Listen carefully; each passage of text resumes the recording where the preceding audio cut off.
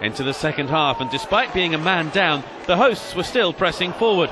Frank Simek's cross broke to Francois Zoko, who finished in some style, the Ivorian striker's sixth league goal this season.